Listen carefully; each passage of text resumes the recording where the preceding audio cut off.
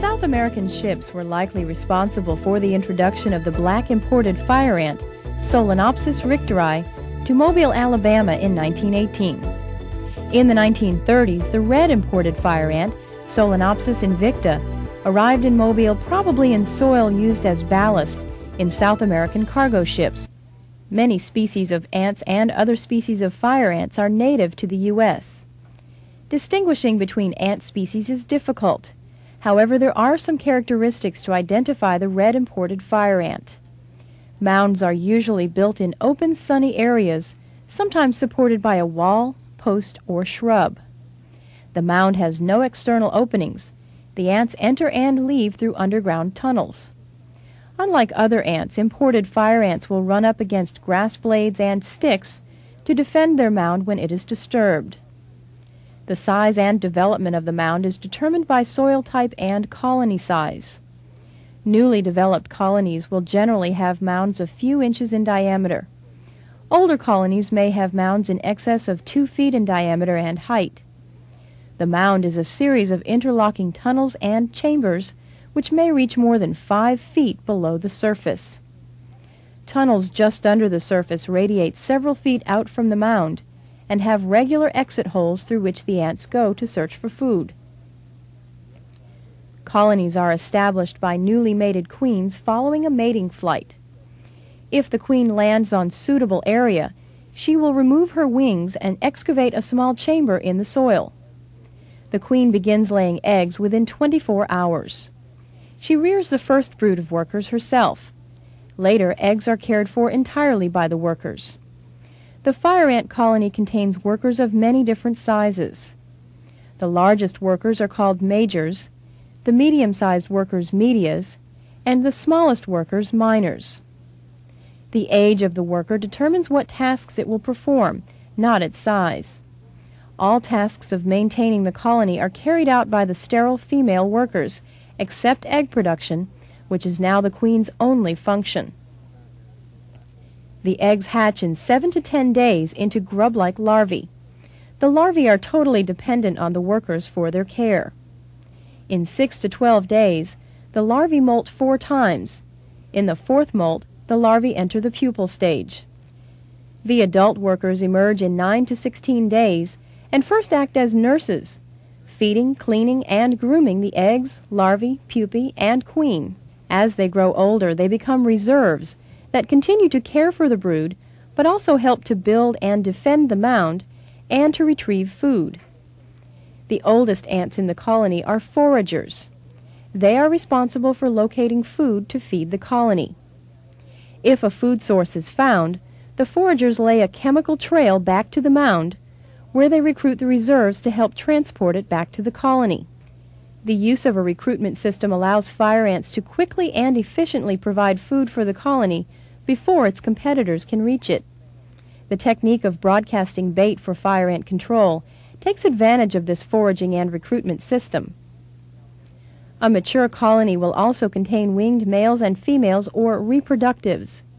These accumulate in the colony until weather conditions are favorable for mating flights. A mature colony may contain 100,000 to 500,000 workers and several hundred reproductives. The adult ant can only swallow liquids. Therefore, all solid foods must be carried back to the colony and given to the largest larvae, the only stage in the fire ant life cycle that can digest solid food. The larvae secretes enzymes to digest the solid food particles, and the resulting liquid is used to feed the workers and the queen. This exchange of liquid food is called trophallaxis. Through trophallaxis, a small part of a food source can be passed to a large number of ants. The queen controls the colony by the secretion of chemicals that are passed from worker to worker when they encounter each other through trophallaxis, and also by manipulating the production of replacement workers and reproductives. The nurses shield the queen from any danger by first consuming foods before it is fed to her, and by quickly carrying her away if the mound is disturbed. The colony can survive as long as the queen and a few workers survive. Because of this high degree of protection, a fire ant colony is very difficult to eliminate. Single queen fire ant colonies are very territorial toward other fire ants competing with or eliminating other nearby colonies. Newly mated queens landing in a fire ant infested area are attacked and killed by the workers. It seems the best control of fire ants may be other fire ants.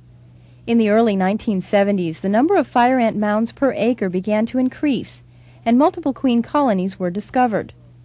Colony life differs in multiple queen colonies. The workers are less aggressive toward workers from other mounds. Mounds are closer together, making areas more heavily infested, and newly mated queens are often accepted into the mound instead of being killed. Multiple queen colonies can contain a few queens or up to several hundred, making control very difficult. As long as one queen survives, the colony can continue. The fire ant's aggressive behavior in defending their mound and the ability of each worker to sting repeatedly makes them a formidable foe to man or animal. When the fire ant stings, it injects a venom that causes a burning sensation. Pustules form and, if scratched, can become infected. People sensitive to the venom may exhibit symptoms such as headaches, dizziness, swelling of the affected area, and shortness of breath. They should seek medical attention. The ants can also affect pets, livestock, and wildlife by blinding or killing young animals and birds that are unable to escape. One of the few factors that can slow the rapid spread of the fire ant is native ants. If a population of native ants is present, the newly mated fire ant queen is likely to be attacked and killed by the native ant workers before she has a chance to burrow into the ground.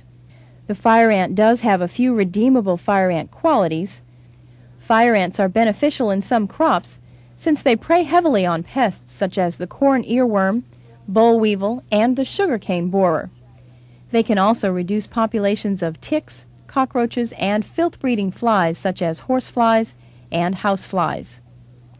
Due to their high rate of reproduction, the large area of infestation, and difficulty in locating all mounds, eradication of the imported fire ant is impossible with present day controls. The use of integrated pest management strategies that reduce problems associated with fire ants without eliminating them entirely will probably be the most environmentally safe and effective option.